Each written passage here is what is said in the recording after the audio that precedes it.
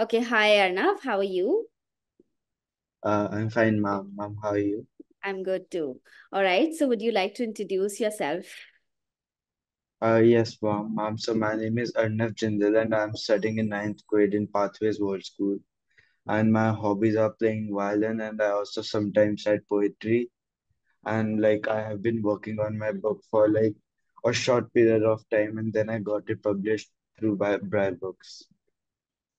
All right. And nowadays I have been I've been working on different writing skills like in making the things more engaging and inspirational. So the name of your book, The Road to Emerging Powers, what what is it about? So basically, I I chose this name because uh, like it definitely connects to how the book is progressing. So the book's main motive is to show like it's it's like based on the perspective of different people. Some people think that the book is a fictional book, but some people think that it also has a moral, which is how surroundings change a person's behavior.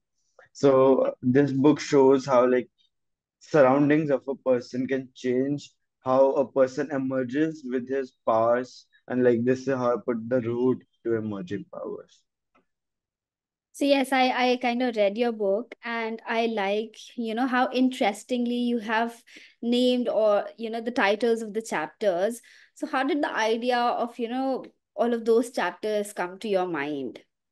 Uh, so basically, uh, I like reading fictional books a lot, and I have been reading books of Rick Riordan and all. And then the things I see in most of the books is that they miss a title. Most of the books they just have a chapter number, or they just have the like a single word title. So I tried making the titles more engaging and like for the like the reader to read it more, like the using the titles. Correct. So is this your first book that you have written? Yes, yes. And how was your writing experience? Um, my writing experience was overall good. I had I faced some like major challenges like connecting the storylines. So basically, it's very hard. Like people have like the basic story in their mind, but at the end they have to connect everything. And like while writing the book, it's not the basic story which you have to write. You have to write like some connectors and like you have to connect the story over overall. So like that's a challenging part. So, I mean, uh, because it's a story about, you know, kind of empowerment and the character development and, you know, how the person or the main lead or the protagonist of the story, you know, goes through a lot of changes in his life. So, I mean, how did the idea of this book actually come to you? I mean, what what what inspired you to write this book? So like uh, there were three things which inspired me to write this book. Firstly, uh, reading all the other fictional books, it gave me the idea that I'll also write a fictional book someday. Second was a question, what if? So like I focused on the question, what if this happens to the person? And then I continued writing my book, and along the way I got the hang of the story and how the story was progressing. So my basic story was not the not exactly the thing I wrote, but like as I like progressed, asking myself, what if the boy goes through this? That that way I continued writing my story. And the third main thing, which like inspired me, was my personal experiences of how like all the other fictional books, like when I read them, I feel what is missing in them, and like what I need to be, uh, what I need that it has to be there in a book. So you have told us that you know you like to read a lot of fictional books. Like what if if you were to name, let's say, your top three books that you love to read, what would they be? I think my top three books will be uh like in the third place I would put the Percy Jackson part, fifth, which was like really engaging only uh, because how the like many characters were added and like some new characters were introduced and like the second one will be Trials of Apollo. Uh, though I put it in the second and not in the first because like it might get like sometimes boring at times. And also, the first one is Heroes of Olympus, which is like a lengthy book, but, but really interesting. That's great. And did you ever, you know, before you were introduced to BriBooks, did you ever think of becoming an author, a published author, or did you ever think of writing a book of your own? No. Uh, the time when I came to know about BriBooks, it was like two to three years ago, and I started writing a book, but I couldn't at that time. I couldn't complete it. So this time I tried putting my all, and then I wrote this book. So like I, I had no idea of becoming an author before I was introduced to Bri, dry books. So it was kind of an entire journey for you, you know, from getting to Yes. to write a book and everything. So, I mean, you you faced your challenges, you have overcome those challenges, you've now become a published author. So, how does this experience, you know, feel? It's uh, like uh, I've I had put a lot of effort in writing this book, and I feel that the effort I put it was valuable and it was shining in the end. And if you were to, you know, uh, give some kind of an advice to other aspiring authors, or if there's, you know, just one tip that could help them write a better book, what would that be from your end?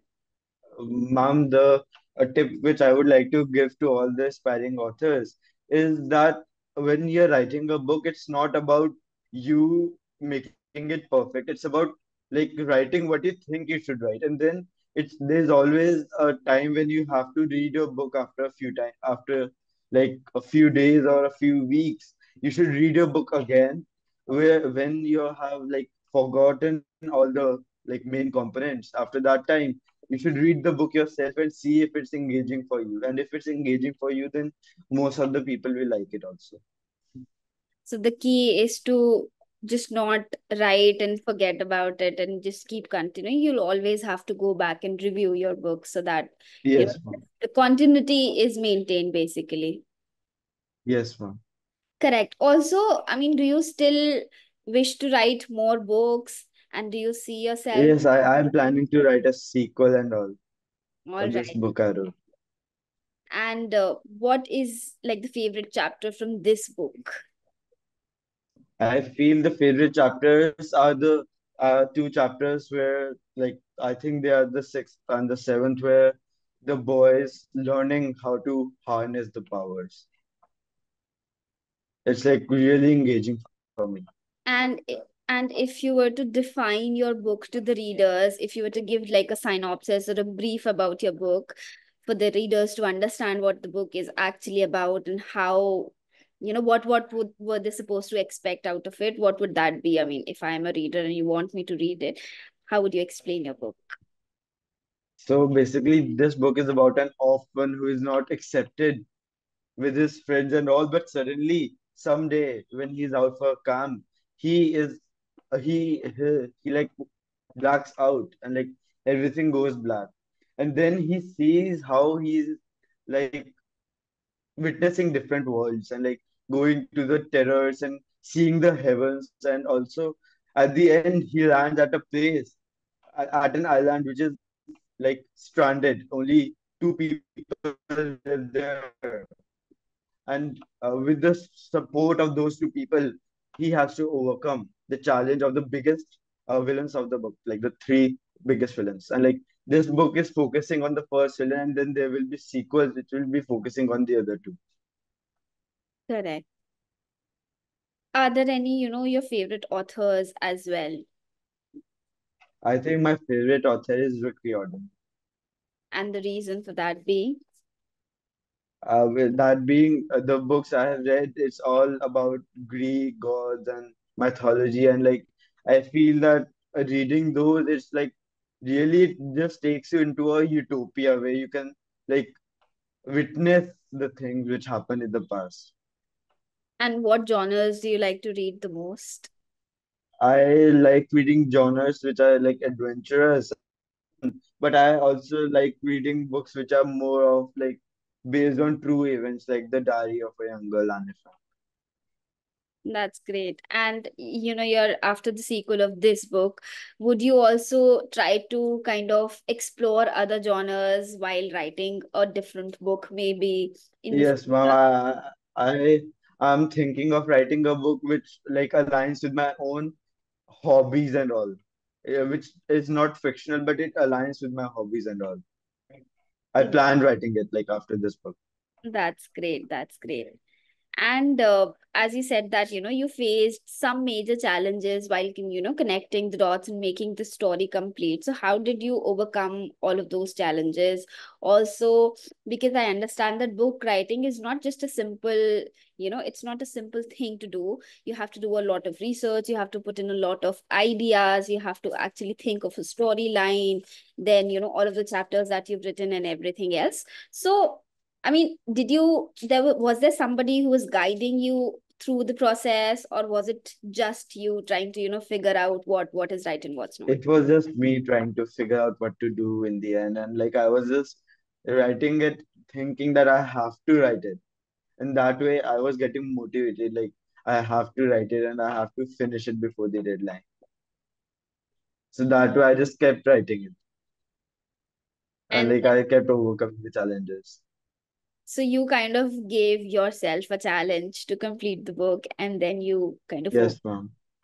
That's great. That's great. Is there anything else that you know you would want to share with us? Something kind of an expert or some some anything about your book or your journey or your experience as a published author or anything of that sort?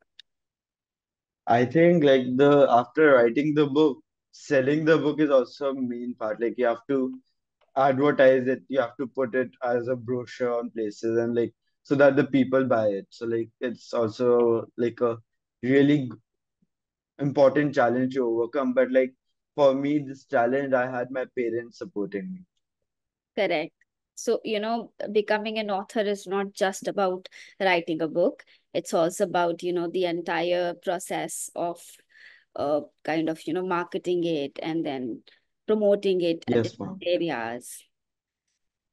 Yes. So, uh, apart from your parents, have your friends also, or you know, your relatives have also helped and supported you in Uh, this? yes, ma'am. Like my friends and my relatives and also my parents' friends have helped in advertising and all a lot. And you have used uh, social media and uh. Yes, I put I put like bro brochures on the book and all.